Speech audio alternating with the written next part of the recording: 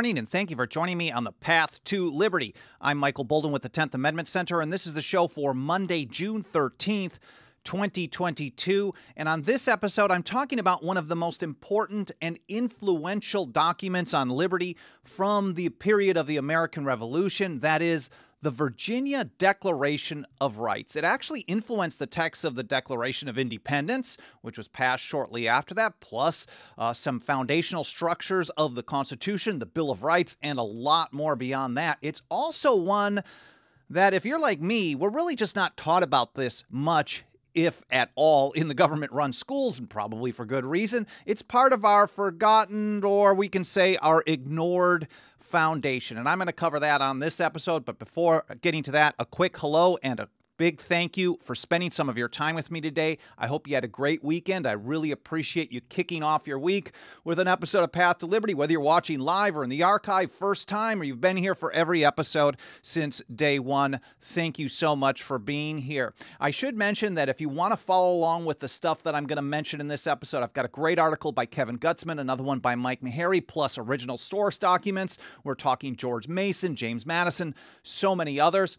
So if you want to follow along with that, I publish a blog post for each episode about one to two hours after the live stream is done. And you can find all of those, all the archives, all the platforms, all the stuff that we do uh, for this show for all time, four years or so of episodes over at 10thamendmentcenter.com slash path to liberty. It's all spelled out, 10thamendmentcenter.com slash path to liberty. And I do want to say hello, give uh, people another moment or so to join us, get notifications, and join us on the live stream. So, hello to everyone out in the live chat. There's Tim Martin and Liberty Revolutionary, Dixie Strong, Poet Fisherman, Patricia Dance, good to see you, Cole Cochran, Clay Kent, Jennifer Coop, Senator DT, Chris Schulte.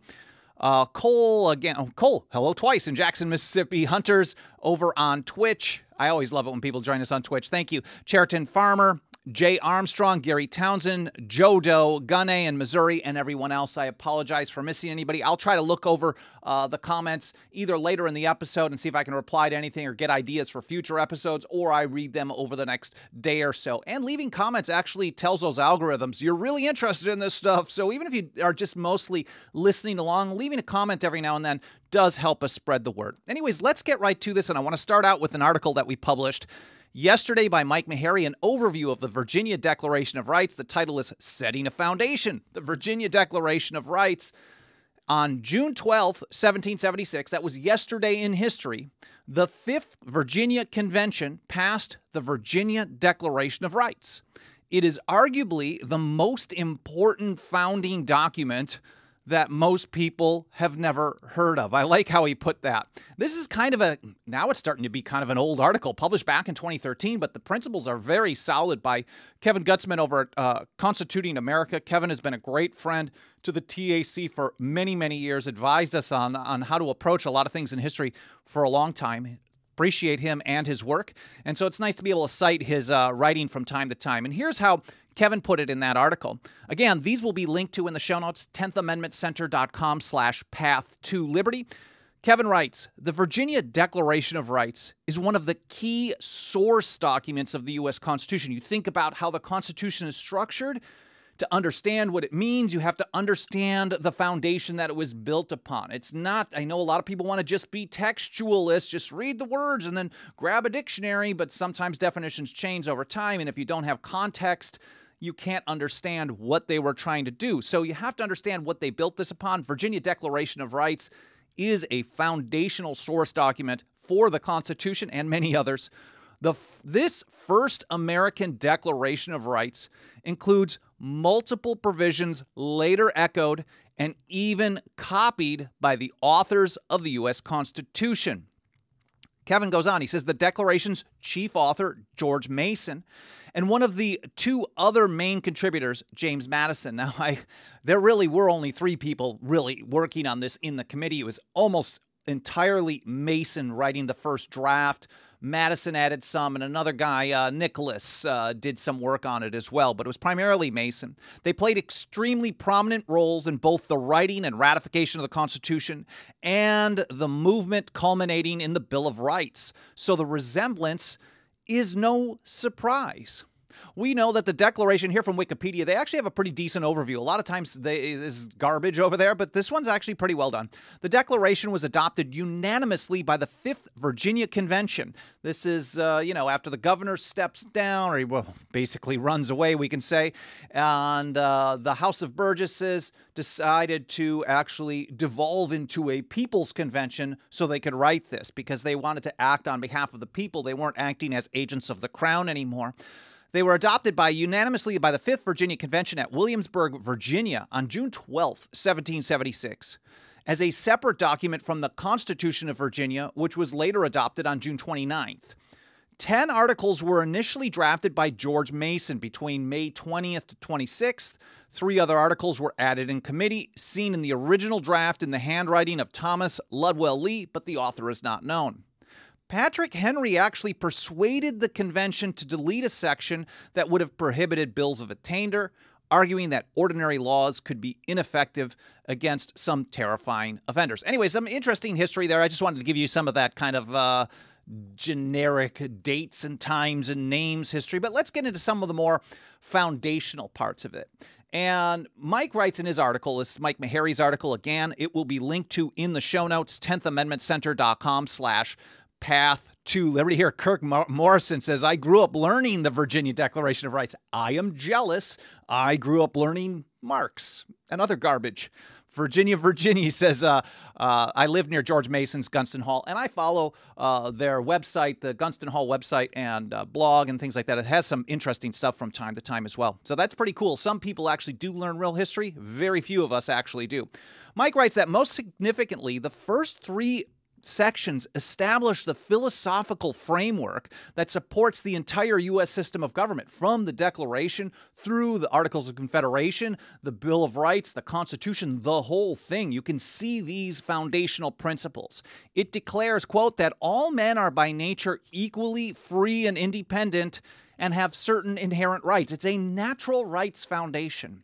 And if you're going to structure a government, the idea is to to uh, limit the government in such a way that it's very difficult for it to be able to violate those natural rights when the people actually learn how to exercise those rights, whether government wants to or not. That's a side note. So people have certain inherent rights.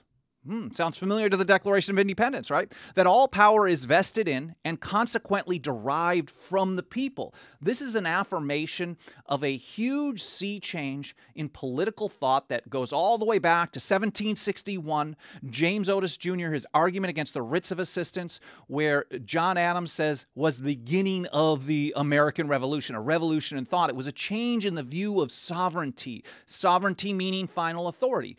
The founding generation, the old revolutionaries, they toiled under a system where a single person or just a, uh, the king and parliament held sovereignty and final authority. So if there was an unwritten constitution that said, well, you can only do these things, or was understood that they were only going to be able to do these things, if they're sovereign, they have the final say over what they can do. And so when James Otis Jr. said an act against the Constitution is void, he was noting that the Constitution was the supreme law, and this means that the authority for that has to come from somewhere. And George Mason reaffirmed that view, writing for the Virginia Declaration of Rights that power comes from the people. It is the government is a tool of the people. Now, today, it's not a really great tool. It's more like a bludgeoning instrument, but that's a different story. Uh, Thomas Paine one wrote that a, a constitution is not an act of government, but an act of the people constituting a government. And that's how we're supposed to look at things. All power is vested in and consequently derived from the people. And finally, that the community has an indubitable, I love that line, that word, inalienable and indefeasible right to reform, alter, or abolish government in such manner as shall be judged most conducive to the public weal. You can see how Jefferson and the Committee of Five kind of drew upon this. Jefferson certainly wanted to be, uh, uh, you know, holding the line for his Virginians, of course, here. Now, a little history behind this.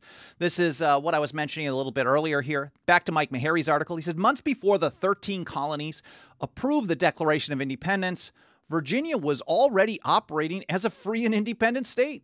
They had already declared their own independence in Virginia. The colonial governor fled in January 76 after the burning of Norfolk. I know I don't pronounce that properly. My apologies. In his absence, the governor's council, which is the upper house, and the House of Burgesses dissolved themselves into a convention under the authority of the people. This was the Fifth Virginia Convention and assumed control over colonial affairs. So in May, they decided to declare themselves a free and independent state. They absolved themselves from all allegiance to or dependence upon the Crown or Parliament of Great Britain. That was May 15th, 1776 significantly, that's a pretty decent amount of time before the Declaration of Independence was uh, drafted, the Lee Resolution on July 2nd and then uh, July 4th. The resolution also included three action steps when they passed that on May 15th. So this is what they did uh, in in uh, the the Continental Congress as well. They said, "Hey, here's a res- here's what we're going to do. We've got this Lee resolution. We're going to declare independence. We need to come up with a form of government. We have to do some treating with other countries. That's how they talked about it back then, and, and basically establish foreign relations." And this is what they said here in Virginia as well. They wanted to draft a Declaration of Rights. They were going to uh, draft a constitution, a new constitution for Virginia, and then establish treaties and then relationships, treaties with other countries and relationships with the other colonies. I covered this in some detail. Uh, in an episode that I did last May, May 7th, 2021, talking about dozens of declarations of independence that actually happened on the road to independence, the national, I guess we could call it, the declaration, the 13 free and sovereign and independent states coming together uh, people think of it wrong. National. I shouldn't even say that and give anyone any hints of going the wrong direction. But, anyways, these other declarations of independence I covered in an episode highlighting not just Virginia, but a number of other ones on the road to those 13 free and independent states, July 4th, and then in August as well. So back to Kevin Gutzman. He says self consciously following the example of Britain's glorious revolution. So there's great history behind the Virginia Declaration of Rights as well. We want to look back to what they built on for this. I'm not getting into that here, but just pointing out that the Declaration of Right, Kevin writes, had been the condition of William and Mary's joint assumption of the English monarchy. So there was a tradition of a Declaration or a Bill of Rights. We know, I think it was 1689. Virginians put their fundamental statement of political principles first and then adopted the Constitution to implement it. So they have base principles to start it out. These are what we want to to follow, and then the Constitution is the structure that will help achieve these goals. Virginians thought of their colony as independent from that point. And again, George Mason drew very heavily from that uh, English Bill of Rights. It was 1689 that I see here in Mike Maharrey's article, and then also the writings of John Locke. He begins by establishing the philosophical foundations of government. Just like what Kevin was talking about, they start with these foundational principles about what the government is there for, kind of like the Declaration of Independence, I guess, including separation of powers, which was so essential. We don't think about that nearly as much. We see things that happen today like, oh, Congress no longer declares war because, well, the executive can make the determination of whether or not the country will go to war rather than recognizing that these were separated intentionally, whether it was 60 days or one day or one minute. The executive would never have any opportunity in any case, according to James Madison, to decide whether or not the country was going to go, go to war. So they had some philosophical foundations at the beginning. Separation of powers was so essential. I'll get to that again in just a moment. And then he outlined several specific individual rights, including many that were reflected in the Constitution's Bill of Rights. The document affirms the right to a jury trial, protection from excessive fines and bail, a ban on general warrants, that authorize searches without facts, freedom of the press, and the subordination of the militia to the civil authority. Basically, all of the people, according to George Mason, all able bodied. And again, separation of powers was so important. And James Madison was there. He was the youngest member of that Virginia, 5th Virginia Convention. I think he was just 25 years old at the time, maybe 24, 26, somewhere around that.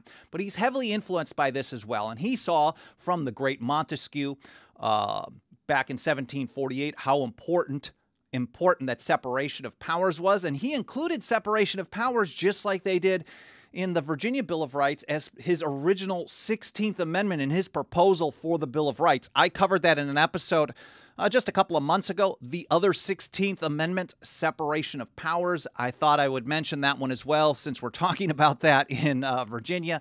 And I will link to that in the show notes, 10thamendmentcenter.com slash path to liberty. So let's go through some highlights from the Declaration of Rights. Section 1, the first thing Check this out.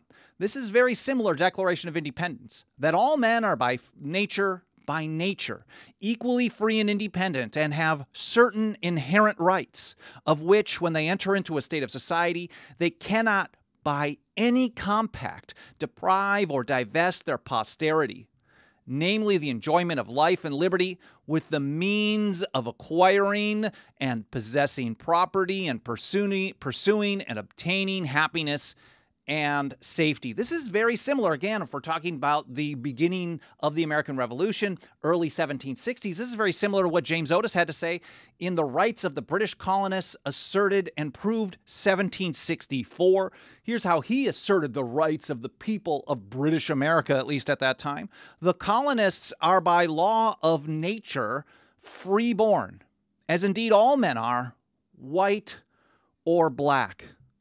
Now, if we go back to that section one, and this is just an interesting piece of negative history that we got to like look at the whole thing completely here. George Mason, when he introduced it, did not include this line when they enter into a state of society. So it would have read, All men are by nature equally free and independent and have certain inherent rights of which they cannot by compact deprive or divest. But Edmund Pendleton, no, thank you, Edmund. He made a motion to add that phrase when they enter into a state of society to ensure to make it clear that what they were voting on did not include enslaved populations. So that's uh, unfortunate, but it is part of the history, and we should mention that as well. Uh, but it certainly is influential. We can understand those core principles and reject the notion of being okay with slavery at the same time. So here's section two all power is vested in and consequently derived from the people, and that magistrates are their trustees and servants, and at all times amenable to them. Kevin Gutzman says there are some other notable sections at the beginning. These are general political principle. They included Section 3's claim that a majority has a right to replace government with which it is discontented. That's a kind of not a really high bar there. Section 4 statement that offices should not be hereditary. Of course, we know that in January of 76, Thomas Paine's Common Sense was published, and it certainly was railing against the notion of a hereditary monarchy. So these types of views were catching on like wildfire. They certainly were catching on, and people were opposed, completely opposed to the idea of hereditary leadership, rulers. And uh, we may be uh, pretty close to that today. I mean, it's an elective despotism without without a doubt. And that's what we are warned against by people like Thomas Jefferson, Richard Henry Lee, and others, and James Madison citing Thomas Jefferson, etc. But they did not want this type of power to have so much continuity to it. And then if you look at the deep state, that's another story. Section 5 statement Kevin writes in favor of term limits for all government officials. And Section 6, I think we're kind of getting out of these general principles, but that holders of sufficient property should be allowed to vote, and that only elective officials should have the power to tax. So I'm not as excited about those, but they're there. Now, Gordon Lloyd over at teachingamericanhistory.org has a really interesting point here. We're talking about a Declaration of Rights. And if you look at the Bill of Rights today, there's no foundational principles like this. They're literally the right to uh, free speech, free press, trial by jury, the right to keep and bear arms, things like that. These are in we're generally thinking about individual rights, property rights, self ownership, and things like that. And they don't start out the Declaration of Rights in Virginia. George Mason certainly didn't, and they passed it without thinking about that first. And here's how Gordon Lloyd put it. The rights list, and he put rights in quotes because it's confusing to a lot of people, listed in the first five sections might strike the contemporary reader as odd.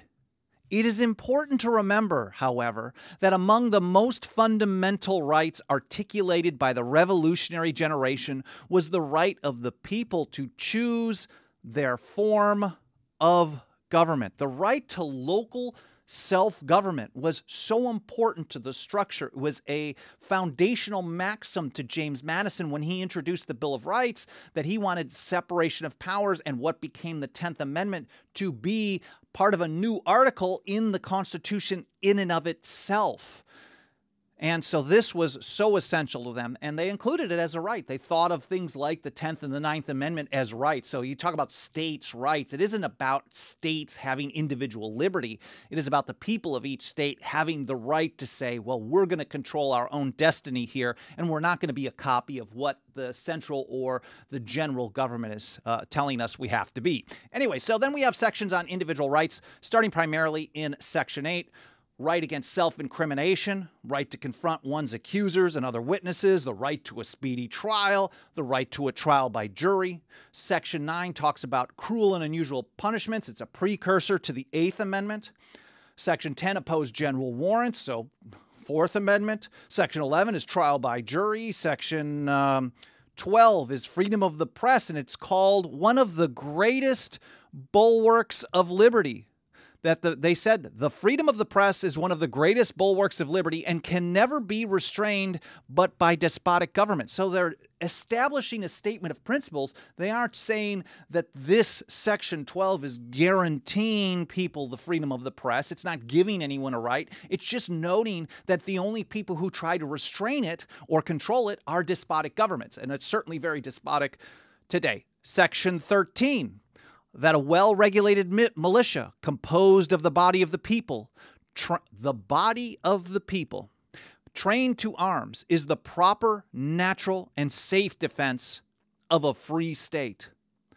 That standing army, so they always combine the right to keep and bear arm as opposition to standing armies. I know I've been saying that a lot lately, but a lot of people miss this. Generally, the people who oppose large military spending today are also opposed to the right to keep and bear arms. And the people who support the right to keep and bear arms love the military. And it's really you got to combine those two. The right to keep and bear arms are there to protect against the bane of liberty. George Mason himself says, you know, I have great respect to those who serve, but whenever a standing army is established, whenever, anytime the people lose their liberty, and it may be at the hand of the standing army, but it also can come through the heavy taxation to fund it and control it and to run it. Anyways, standing armies in times of peace should be avoided as dangerous to liberty, and that in all cases, all cases, the military should be under strict subordination to and governed by the civil power. So that's so essential as well. And I think Kevin Gutzman actually has a great summary of this here. He says the influence of the Virginia Declaration of Rights would be hard to exaggerate. And we can see so many of these foundational principles, whether it's from the Declaration of Independence, we're getting close to Independence Day, July 4th, or Independence Day, July 2nd, if you're thinking about the Lee Resolution as well. But we can also see this in the Constitution and the Bill of Rights, the Constitution of the United States and the Bill of Rights. But he also points out that many of these provisions were used in other states, whether their own declarations or their own state revolutionary constitutions. Thomas Jefferson, helping Frenchmen draft their Revolution's Declaration of the Rights of Man and Citizen, saw to it that some of the Virginia provisions were essentially translated into that document. From France, it made into other charters in other countries. It even got into the UN version. Not that we're fans of the UN, but it's been transplanted to so many countries and it goes all the way back to George Mason in 1776 and really the English Bill of Rights in 1689. And if we're talking about separation of powers, we're talking about Montesquieu in 1748 and other, other good stuff. Anyways, George Mason, Kevin writes, and to a much lesser extent, James Madison. James Madison actually put a stronger. Let's look at Section 16 because this was really James Madison's input here uh, about uh, freedom for religion. And George Mason had kind of a weakish version of it. And Madison's version came out like this Religion or the duty which we owe to our Creator and the manner of discharging it can be directed only by reason and conviction, not by force or violence. Man, that is an awesome statement. It's almost non aggression principle. It's like you have your choices, and as long as you aren't harming other people, those are your own choices, your own reason, and it's up to you to own the consequences of that, but not by force or violence. And therefore, all men are equally entitled to the free exercise of religion according to the dictates of conscience conscience, and that it is the mutual duty of all to practice Christian forbearance, love and charity towards each other. We don't have a lot of forbearance, love, and charity towards each other in this society that is centralized and that every decision is forced upon the entire population by a central power that's the largest central power in the history of the planet as far as the amount of spending that it does, the largest empire. That's what we are warned against. Mercy Otis Warren warned us about this. When party feuds uh, divide a nation, all semblance of human kindness really are set aside. And here they are saying in the Declaration, Virginia Declaration of Rights, which influenced so many other documents, we should all practice this way of living. And that really strikes me forbearance, love, and charity towards each other. Because really, if we think about it, the people that hate your liberty, well, and I don't act like this a lot myself, and I really need to more. But we're all victims. We're victims of a government run school system. We're victims of uh, parents who are victims of a government run school system. And we can go through generation after generation after generation how we aren't taught about any of these important foundational principles or why. Why is it important to have separation of powers? Well, you'll know if you check out that episode that I covered as well, which I could pull up on the screen here. What is it? The other 16th Amendment, separation of powers. Anyways, back to Kevin Gutzman. George Mason, and to a much lesser extent, James Madison, had a powerful effect on legal charters all over the world. Some of the most influential writing in history. No wonder we're not taught about it, right? No wonder Thomas Jefferson, he writes, begged to be relieved of his congressional duties so that he could go home to Virginia and join in writing his state's Declaration of Rights and Constitution. And man, Gutzman's books on Madison and Jefferson are incredible. You should check those out. He said this was the ground of the entire struggle with the British. Now, John Adams had a different view, is more James Otis centered. Thomas Jefferson was a little bit more Virginia centered, the Virginia Declaration of Rights. He saw uh, the the Stamp Act and, of course, Patrick Henry's resolutions against the Stamp Act, 1764, when they started planning it, and then his resolutions in May of 1765. That was his view of the really the beginning of the revolution in thought and the opposition. He said this was the ground of the entire struggle with the British. Dejectedly, he had to settle for writing the Declaration of American Independence instead. Kevin really has a way with words. I do, you know, this type of stuff I think is so, so important for us to get out there, especially because the government schools go out of their way to not teach us this stuff. Or when they do, they gloss over it or they only highlight something that's bad, that we need to cover it in completion. We have to understand where this stuff comes from and why Otherwise, we have no idea why things happen today or why things should be structured a certain way. And when they're not, why we have so much tyranny, why people are at each other's throats, things like that. And there's nothing that helps us reach and teach more people about the foundation of the Constitution, about liberty, how to defend both when government refuses to do so, which is constantly, than the financial faith and support of our members. Nothing helps us get that job done more than that. You can support us for as little as two bucks a month over at 10thamendmentcenter.com slash members. It's all spelled out, 10thamendmentcenter.com slash members. We've got monthly memberships that start at two bucks.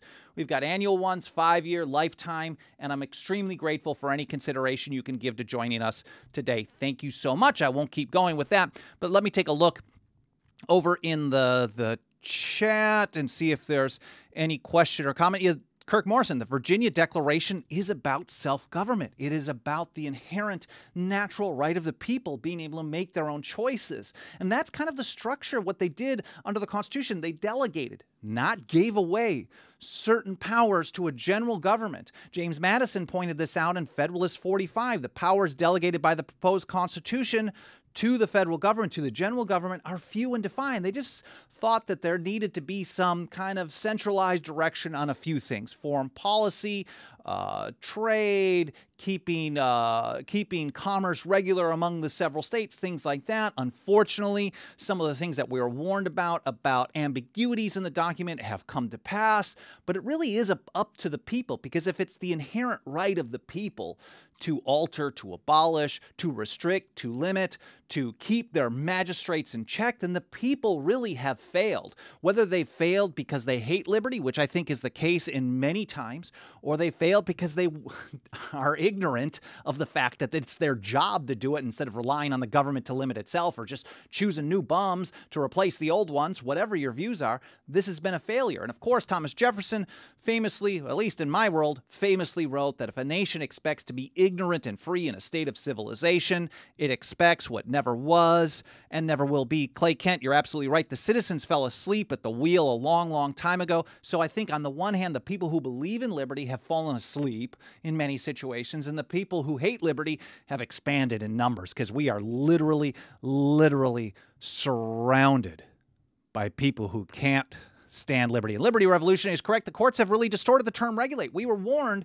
that giving all power to one branch, basically, and in a way, that's kind of how it is. We're told that the Constitution means what the Supreme Court tells us it means, not what the founders and ratifiers told us it means. It means what the Supreme Court has interpreted until the Supreme Court changes its mind, and it may just change it over and over and over. And they're going to look at one thing one way, and they're going to expand power when it's politically necessary, and on and on and on. Uh, let's see how Robert Scott Bell says FDA approved drug induced slumber. Yeah, that's a big part of it as well. And you guys should check out RSB's show. He's uh, six days a week, Monday through Friday, noon Pacific time, and then Sunday at 10 a.m. Pacific time. Only thinking Pacific time. But uh, Robert's a great friend, and he's got a lot of interesting stuff on his show as well. Uh, Dixie Strong makes a good point. We got need to quit saying states' rights. And I generally don't use that except when I'm trying to explain that we're talking about a right to local self government. Uh, we need to quit saying states' rights. So we don't have to explain that all the time. With you guys, I can explain the difference. But in general, when I'm talking with the general public, we're posting social posts or we're, we're making public statements from 10th Amendment Center. We don't talk about we got to expand states' rights. I like the idea of talking about self government and sovereignty and decentralization, federalism localism, things like that, individual liberty. Uh, if they wish to government, govern themselves, asked Blue North Wind, then they also don't have to choose a governing body. Yes, they do not. They do not. Uh, it is up to the people in each area to make their own choice, I guess. Uh, I'm not sure if we can answer that question under the Constitution today, but under that foundational principle, certainly, I think that's an important question. Poet Fisherman, we've fallen so far from local self government. It's amazing what the federal purse strings can accomplish simply by promising to untie or not untie. And I think, again, unfortunately, a lot of times people are begging for that people always one side or another we've got these two kind of primary sides. One side want, wants to use the largest government in history to force their view of society on everybody. And then the other side does it back and forth and back and forth. And george washington in his farewell address drafted by both madison first and then revised by alexander hamilton under his direction specifically warned about this that one side against the other over and over fighting back against each other oftentimes in the spirit of revenge they tell us this, in and of itself, is a frightful despotism, leads to a permanent one as well. And that's what we really got to get away with. We have to go back to this idea of local self government, ignore Washington, D.C., focus our efforts on making the change in our own area, in our own communities, in our own states, in our own lives as well. We have to kind of look at that Section 16, man. I'm going to repeat this one more time. It is the mutual duty of all to practice Christian forbearance, love, and charity towards each other. With that, I think that's a good time to wrap up. I really appreciate you spending some time with me today. Hope you enjoyed the episode. I hope you learned something. More than anything, I hope you learned something. Uh, again, 10thamendmentcenter.com slash members is where you can put your financial faith behind our work. 10thamendmentcenter.com slash path to liberty is the show homepage. You'll also find the membership program there. Smash the like button, leave reviews on Apple Podcasts, all the other platforms and uh, that helps us spread the word. Thanks again for being here. I hope you have a great day, and I'll see you next time here on the path to liberty.